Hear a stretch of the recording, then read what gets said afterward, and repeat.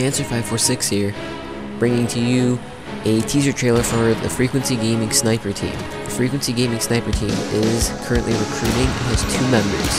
If you feel as though you could, you would like to try out for the Frequency Sniper Team, the way to try out is to get clips and contact Mancer546, show him your clips, and if your clips are good enough, then you will join the Frequency Gaming Sniper Team. Thank you for everyone who made these small clips possible. The full video will be out soon, but here's the teaser trailer for the Frequency Game Extender.